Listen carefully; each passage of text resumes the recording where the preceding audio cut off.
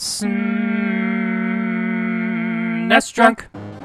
When it was first released for DOS in 1990, Wing Commander was huge. It combined space flight simulation with combat, along with a huge sweeping story. The game introduced a whole new level of production value to the gaming industry, and it paid off big time. The game was a gigantic success. To give you an idea of what kind of stature this game has earned, the source code was anonymously given by a former developer to a Wing Commander fan community for the sake of long term preservation to ensure that the game will stay accessible and playable for future generations. Now, that is really cool. Of course, any PC game that received any kind of success back then got a gazillion ports to other systems, and sure enough, in the years that followed, Wing Commander showed up on Amiga, Amiga CD32, Sega CD, 3DO, PlayStation, Game Boy Advance, and FM Towns, but one of the first ports to be made was for the Super Nintendo in 1992, and surprisingly, it's not that bad of a port. Okay, it's clearly not going to match what the PC version was offering, but still, it was a perfectly okay game. Is it worth playing today? Uh, well, it's complicated. The game structure of the Super Nintendo game remains the same as the original for the most part. You start out in a bar. Hey, this is my kind of game. Why bother with this whole mission based space combat simulator stuff? How about getting to work on this bar simulator, huh? Anyway, you talk to people here to get some background on what's going on, and it's surprisingly well done. I actually kind of like the art style here, and I really like that you start in such a casual setting that's kind of sort of open ended, so you can do stuff at your own pace. There's even a practice mode you can access from here. Eventually, you're given a mission briefing, and you're off into space fighting bad guys. Complete one mission and it's off to the next. Some missions are simply seek and destroy, but others are escort missions, and some are just boss fights. The combat here, of course, is pretty dang limited by today's standards, or hell, even by the standards back then, since you're using a D pad to aim a cursor. That's never fun. And you can't mess around for too long, or else you'll run out of fuel, so you gotta worry about that too. I should take a moment real quickly to mention that no, unfortunately, Wing Commander is not compatible with the SNES mouse or the Super Scope. You gotta use the controller.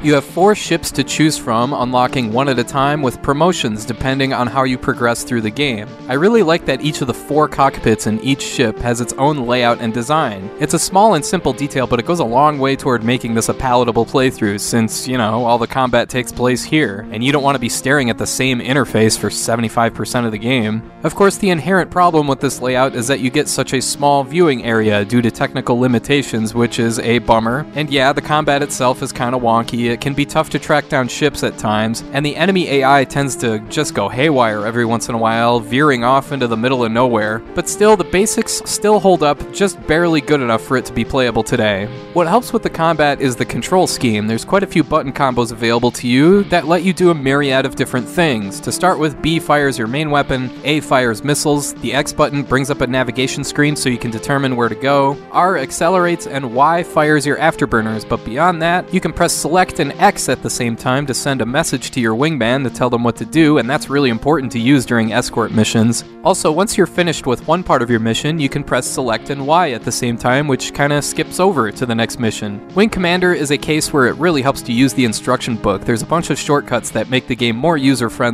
In another nice touch, you have co pilots that fly along with you. Some are great and actually shoot down enemies, and some suck and are like this game's equivalent of Slippy from Star Fox. What's crazy is that if your co pilot dies, they are dead. I mean, dead as a doornail. They have a friggin' funeral service for them and everything. What's even weirder is that there's friendly fire here, and if you accidentally blow up their ship, there's no melodramatic death scene or anything, they're just gone. And you get radio silence, and you just kind of sit there awkwardly, like, uh, did I just do something I shouldn't have, and it really adds a sense of urgency to the game.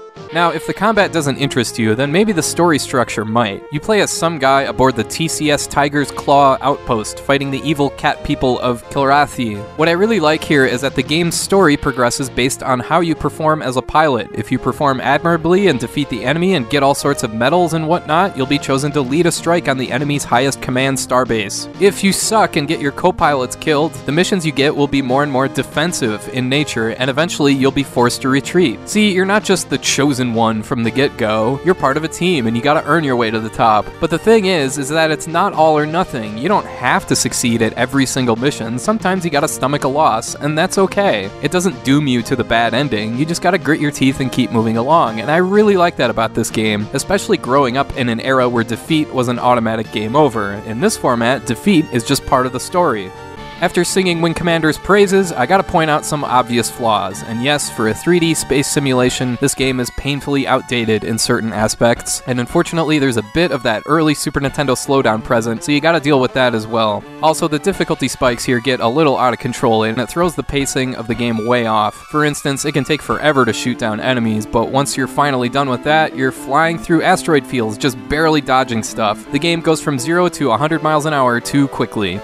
So yeah, is Wing Commander for Super Nintendo worth playing today? The easy answer is no, simply because it's outdated in so many different ways. But I do admit the simple gameplay element of locking onto a target before it locks onto you works perfectly okay. Plus the mission layout and the story structure is pretty cool, and the fact that you have partners that fly alongside you that can get killed really adds a lot. I should also mention that if you like this game, the Super Nintendo received a follow up, Wing Commander Secret Missions, about a year later, and it's more Wing Commander with more missions, all within the same format. As simple as that.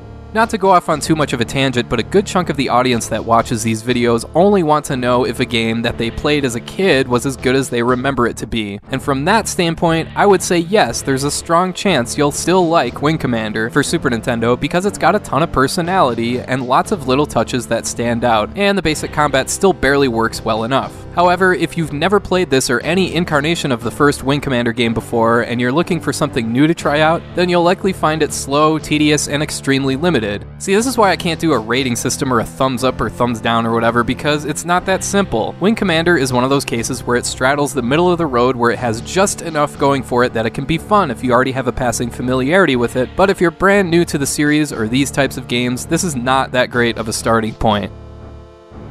And I want to thank you for watching, and I hope you have a great rest of your day.